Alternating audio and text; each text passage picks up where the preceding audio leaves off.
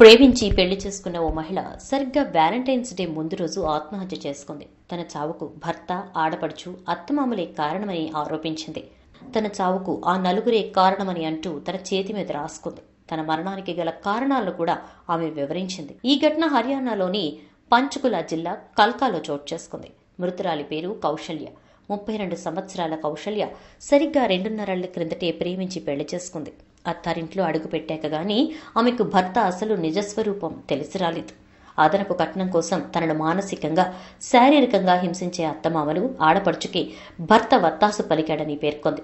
వారితో కలిసి భర్త కూడా తనను కొట్టేవాడని కౌశల్య చేతిపై రాసుకొచ్చింది. తన తల్లిదండ్రుల మాట విని ఉంటే తనకు ఈ దుస్థితి పట్టేది కాదని చెప్తూ ఉరివేసుకుని బలవన్ మరణానికి పాల్పడింది. కౌశల్య తండ్రి ప్లంబర్. పెద్దగా ఆర్థిక స్తోమత లేకపోవడం వల్ల ఆశించిన కట్నం ఇవ్వలేదని దీంతో తన భర్త అత్తమామలు హింసించేవారని ఆమె రాసుకుంది. దీన్ని మరణ వాంగ్మూలంగా తీసుకున్న పోలీసులు కౌశల్య భర్త ప్రమోద్ అత్తమామలు ఆడపడుచుపై కేసు నమోదు చేశారు.